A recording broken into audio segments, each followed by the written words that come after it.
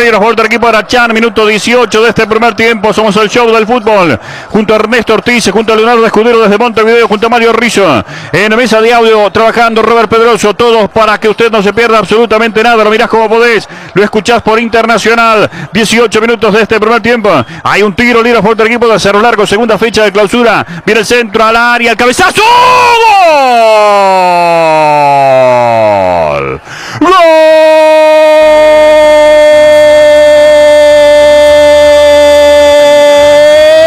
De Cerro Largo.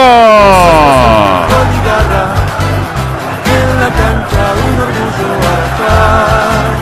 Donde vayas esta hinchada te promete. La bandera azul que estará.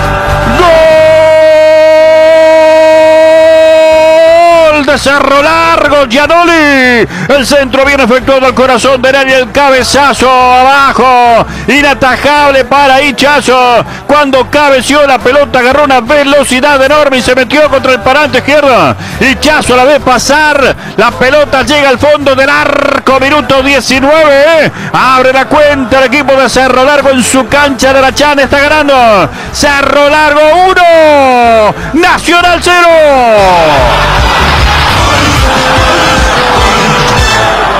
Abre la cuenta el locatario Ernesto Ortiz. Cuando nada lo hacía esperar, Nacional era una tromba sobre el arco de Cerro Largo.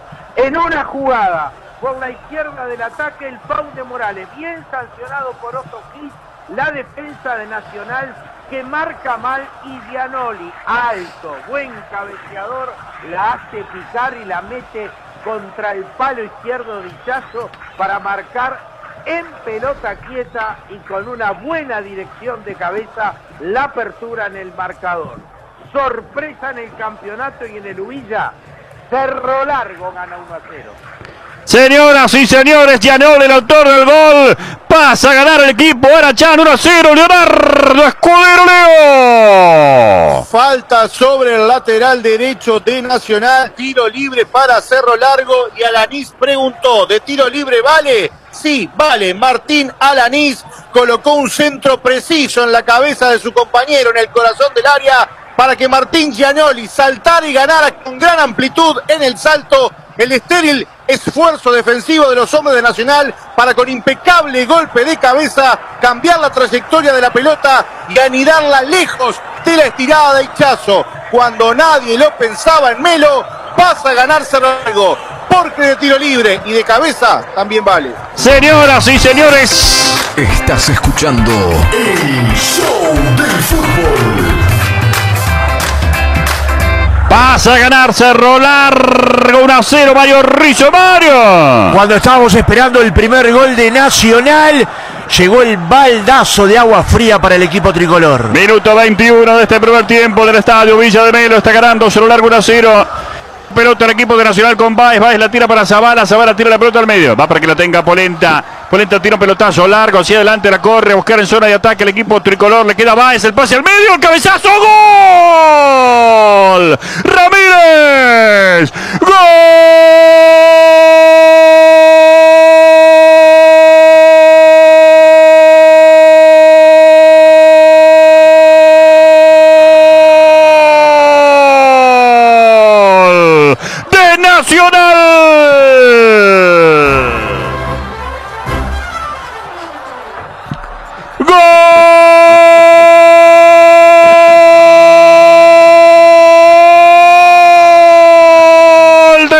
Nacional! El Colo Ramírez. Minuto 28 de este primer tiempo. Atacaba Baez. Le quedó la pelota en zona de ataque. El pase al medio desde área chica. Se tiró hacia adelante como de peixinho, como dicen los brasileños. Y la pelota fue a morir al fondo del arco.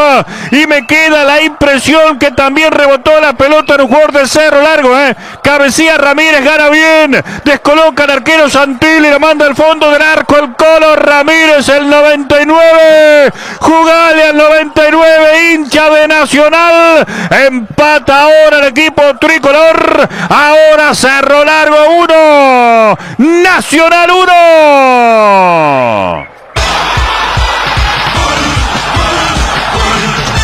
Empata Empató el que más quiso, Ernesto Ortiz, Ernesto.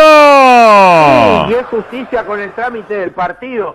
Después del gol de Cerro Largo tuvo algunos minutos Nacional en que pareció que se había olvidado todo lo bueno que había hecho. Ni atacó por los laterales, ni frontalmente, sino que jugó al pelotazo. Pero esta vez la sacó bien jugada y allí apareció el goleador tricolor para anticipar magníficamente a la defensa y al arquero que quedó entre salir y quedarse y la vio como se iba al fondo de la red. Empata Nacional y está bien con el trámite del partido. Señoras y señores, amigos y amigas de Radio Internacional, empata el bolso. En el Uvilla de Melo, ahora el partido 1 a 1. Leonardo Escudero Leo. Hace un rato le dijimos, Cerro Largo por la derecha de su defensa tiene problemas, deja huecos, deja espacios y ahí aparece Baez, que es el hombre que tiene la llave para la ofensiva tricolor. Después del gol de Cerro Largo sintió el golpe nacional y cuando se enderezó una vez más apareció Gabriel Báez subiendo por la zurda, tocando la pelota al medio,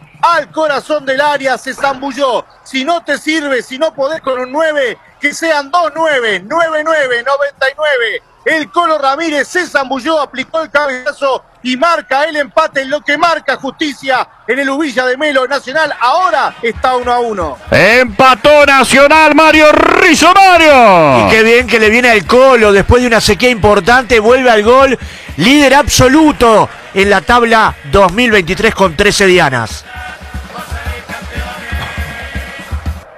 Vio cuando tiene todo pensado, que tiene todo programado y no, no, no sale lo que usted programó. Sí. Igual esa música encaja en todos lados. Se- seguimos festejando. eh, la- Seguimos con la fecha patria. 19 de agosto. Polenta la tira atrás, va para Boca Negra. Así hacemos radio al internacional. La tira la pelota Polenta, Polenta tira un pelotazo largo, la corre a buscar, la va sacando al fondo de cualquier manera el equipo de Cerro Largo a través del cuadro Rabino. Rebotó la pelota, le queda el equipo de Cerro Largo otra vez, va peleando la Nacional, va tirando un pelotazo largo el equipo tricolor buscando a Ramírez, marca de fondo el equipo de Cerro Largo. La viene a buscar la pelota en la media cancha el equipo de Cerro Largo a través de Adanís. Foul del Torito, no dijo nada, Ostojit, siga, siga. La tiene Zavala, puede prender el arco, sigue Diego a tirar, tiró, rebotó la pelota y atrapó el arquero Santilli. No le salió bien el remate, Leo. Nacional, ahí va la pelota al centro izquierdo, ahí va Nacional atacando, la tiene Baez, Baez al medio, atención, le queda Zavala,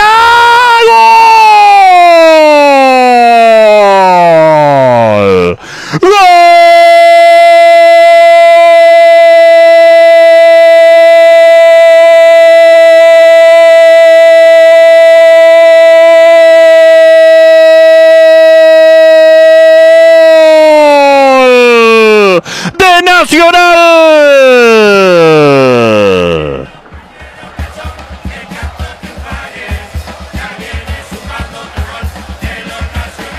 ¡Gol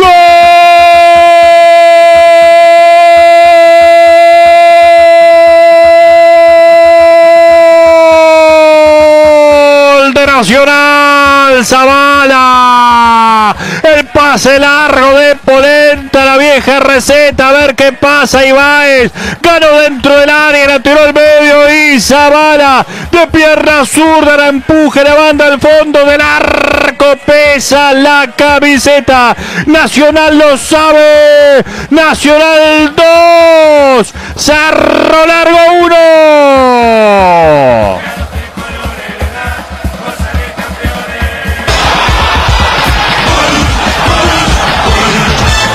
Diego Zavala para darle la alegría al hincha tricolor Ernesto Chequeo Bar. ¿Vale o no vale? ¡Vale, Ernesto! Parece que vale, parece indicar que vale, y hay un cambio además en Nacional. Montiel.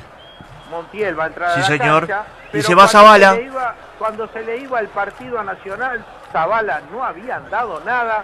Encuentra un balón por una gran acción de Baez que pica a buscar, que vuelve a ganar, que se saca el hombre de encima y que con mucha astucia y con mucho físico pone la pelota en el medio para que Zavala anote el segundo y ponga a Nacional rumbo a la victoria y metiendo presión en la tabla anual. Nacional necesitaba ganar, está ganando, se acerca al anual y es lo que quería el hincha, no importa cómo, había que ganar.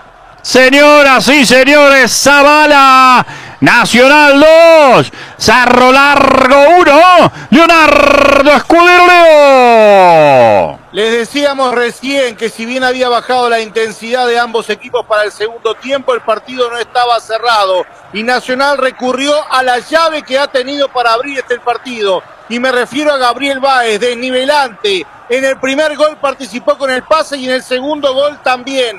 Parte en posición que nos deja alguna duda, pero parte, contacta con la pelota, hace un envío medido al medio para que Zavala, que no había aparecido, que no había jugado bien, llegue con un toque preciso para marcar el segundo. Y como bien les decía Ernesto, no importa el cómo, importa el qué. Y el qué es que Nacional va ganando 2 a 1, mete presión porque suma 3 puntos y ahora el Carbonero, más allá de que está obligado a ganar siempre, deberá ganar porque quienes le persiguen Liverpool, Defensor y Nacional están ganando. Les dijimos que era un partido para un gol más. Mario Rizzo, Mario. Sí, señor, llegó justo, como decía Ernesto y Leo.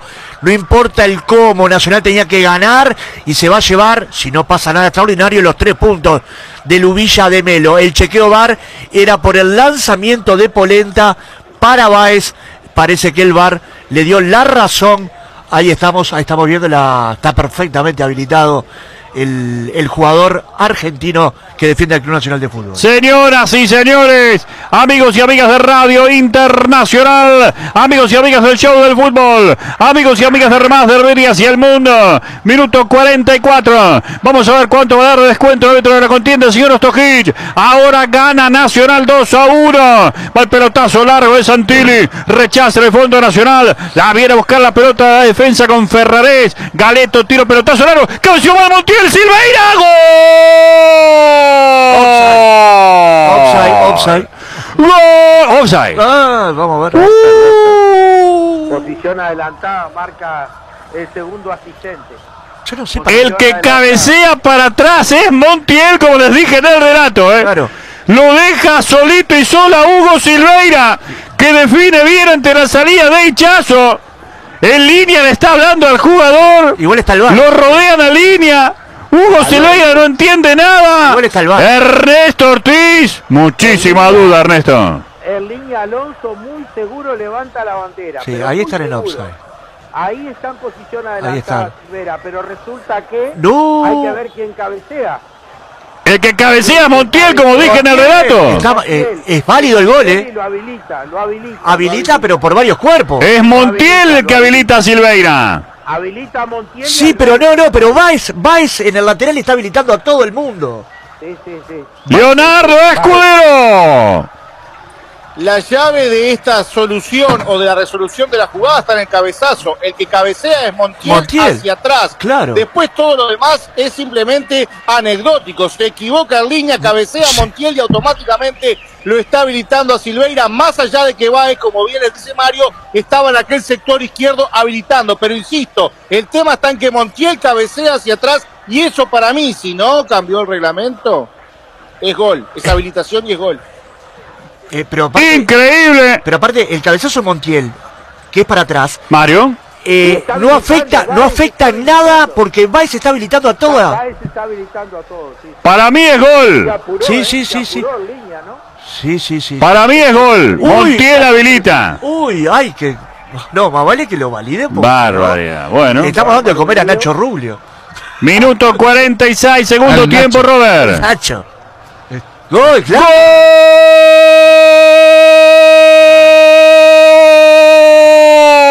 Cerro Largo.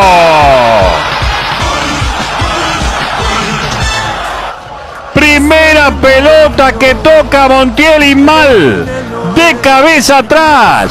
Como les dije en el relato. Y apareció Silveira. De volea para definir. Ante la salida de Hichazo. Y el partido ahora está 2 a 2.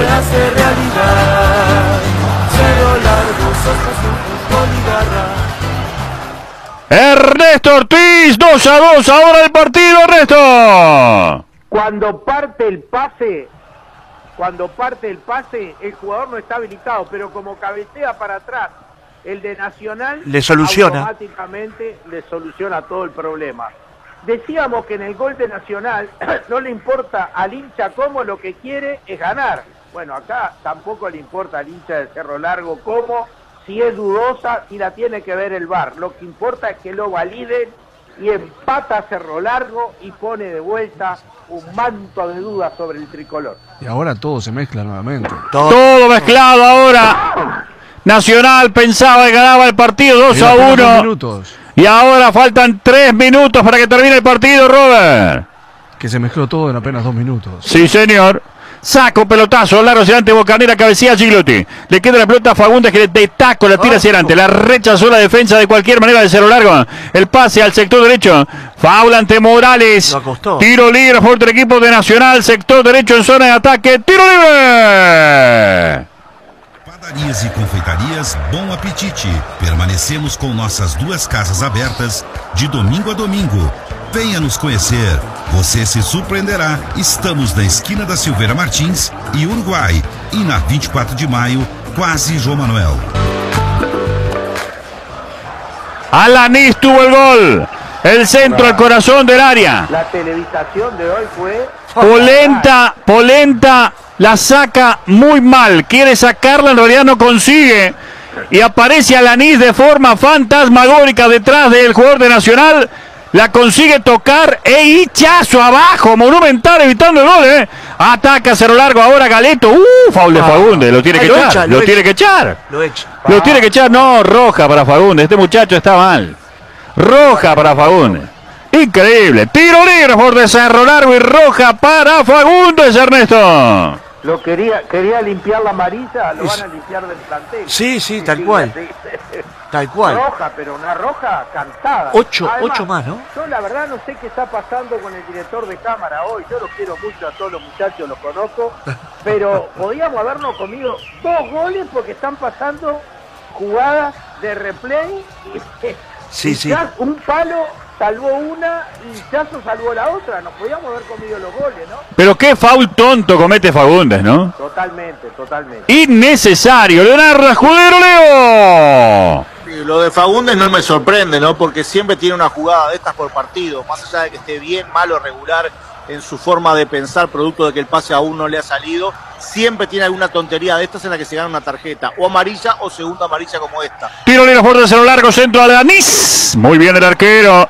Se queda Hichazo con la pelota. No lo dejan sacar. Rebotó la pelota, no lo dejaron sacar. En cualquier lado, eso generalmente es amarilla. No dijo nada Ostojic. La saca Sí, Hichazo. La pelota viene para De León. Ahí va Nacional, va para Montiel, que tuvo la desafortunada jugada, tirando de cabeza atrás. La verdad, una falta de fortuna enorme de Montiel, que es un muy buen jugador. No pero eso habilitó a Silveira, que definió y lo fusiló a Hichazo. Y el partido 2 a 2. Y vamos al minuto 53. Y ataca Silveira. Pase largo, va para Furtado. No llega. Y la va sacando Baez. Baez la tira para Polenta. Polenta lleva la pelota, la tira larga, la va sacando el fondo el equipo de Cerro Largo. Le queda tres a Polenta, Polenta al medio, va para Baez, Baez tira largo, Faulo, pero lo pasaron por arriba, de Nacional. Lo tiraron al piso con todo, fue Galeto. Tarjeta amarilla para Galeto, tiro libre, de Nacional, tiro libre.